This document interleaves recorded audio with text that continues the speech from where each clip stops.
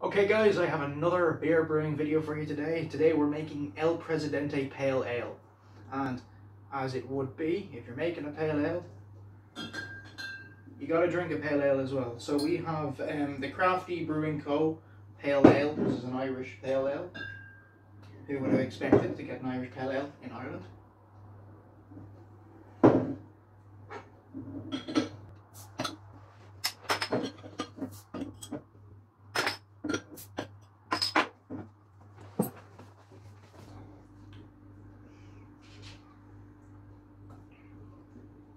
Oh, it's a big kick of orange.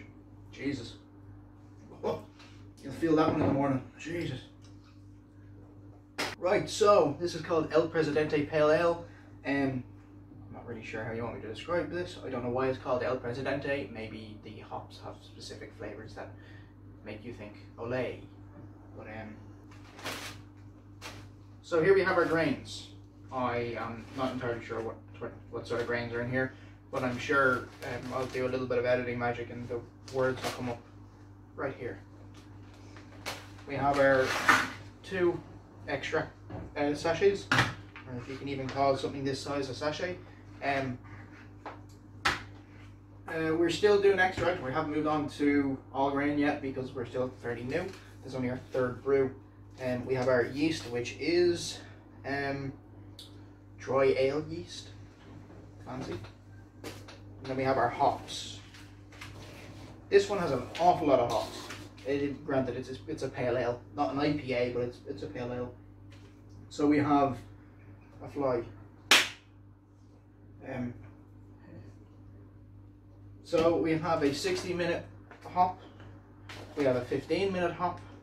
We have a hop at flame out, and we have a dry hop, which is our first um, experience with dry hopping.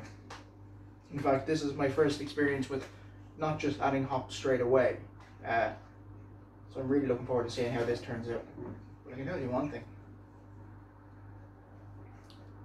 If it comes out even close to this, I'm not going to have my bottles for very long. Oh, that's deadly. Right, so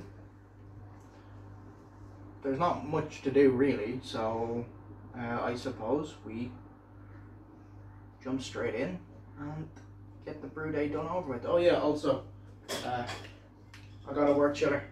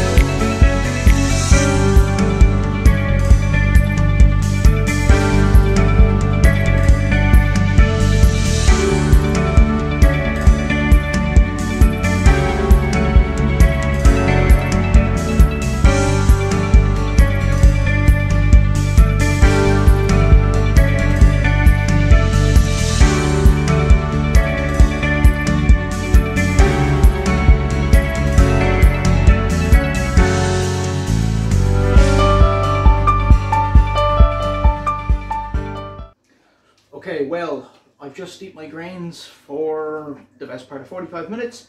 Um, we got this here, it's sitting at about 67 right now, 65. It's slowly coming down, so what I'm going to do is I'm going to bring it back up to a boil. I have my um, extract running under some hot water to loosen it up a little bit. We're going to add that in.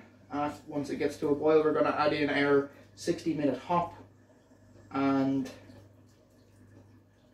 we're gonna let it boil for another 45 minutes before we put in our next addition.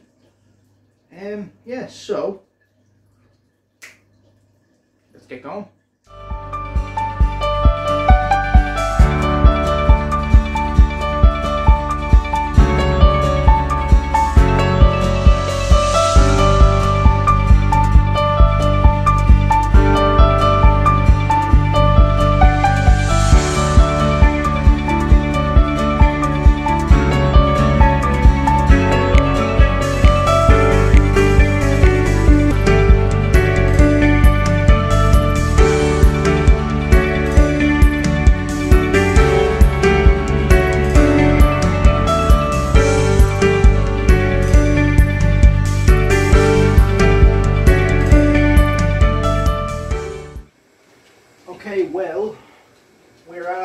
About 105, 106 degrees.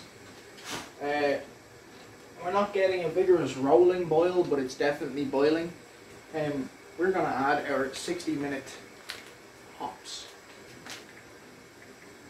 Jesus, What's there? that smells like you've been kicked in the face. Right, so I'll move the camera now and I'll show you what it's like just to throw the hops in.